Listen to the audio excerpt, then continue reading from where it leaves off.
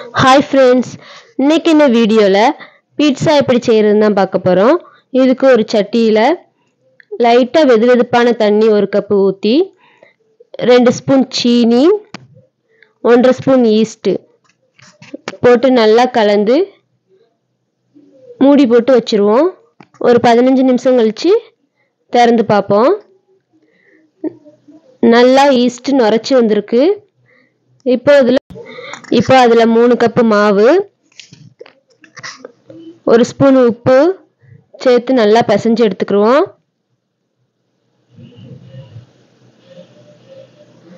தேவையான அளவு தண்ணி ஊற்றி கொஞ்சம் எண்ணெய் ஊற்றி பிசைஞ்சு எடுத்துக்கோங்க. இந்த மாவு வந்து பிசு பிசுன்னு தான் இருக்கணும். சப்பாத்தி மாவு மாதிரி டைட்டாக பிசையக்கூடாது. நல்லா லூஸாகவே இருக்கணும் இந்த மாவு. இந்த மாவை ரெண்டு மணி நேரம் அப்படியே மூடி போட்டு மூடி வச்சுருவோம். ரெண்டு மணி நேரத்துக்கு பிறகு இந்த மாவு நல்லா டபுளாக இருக்கும். ரெண்டு மடங்கு உப்பி வந்திருக்கும். இந்த மாவை ரெண்டு பீஸாக்கு எடுக்க போகிறேன் இப்போ ஒரு தட்டில் எண்ணெய் தடவி அந்த மாவை ரெண்டாக பிரித்து இந்த தட்டில் வச்சு பரப்பி எடுத்துக்கோங்க. கையாலேயே மாவை பரப்பி எடுத்துக்கோங்க.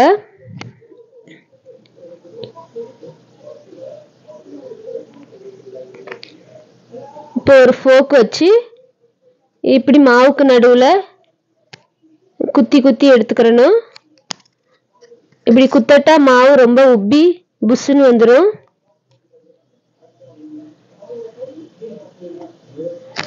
இதுக்கு மேலே பீட்சா சாஸு இது கடையில் வாங்கின பீட்சா சாஸ் தான் சேர்க்க போகிறேன் பீட்சா சாஸை தடவிக்கிடுவோம்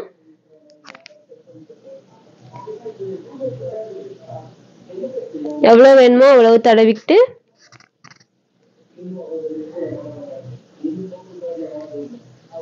அதுக்கு மேலே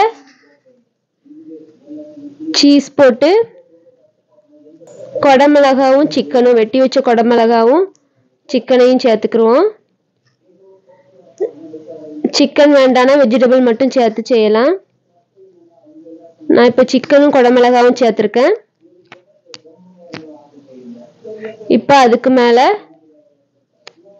எவ்வளோ வேணுமோ அவ்வளோ சீஸ் போட்டு